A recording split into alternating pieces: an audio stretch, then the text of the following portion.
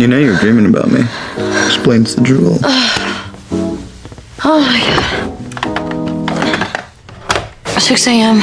Seriously? Do you really have nothing better to do at 6 a.m.? It would suck if the last memento of Stefan looks like a crappy old necklace. It's an antique, Damon. Like you. Mm-hmm. What about Stefan?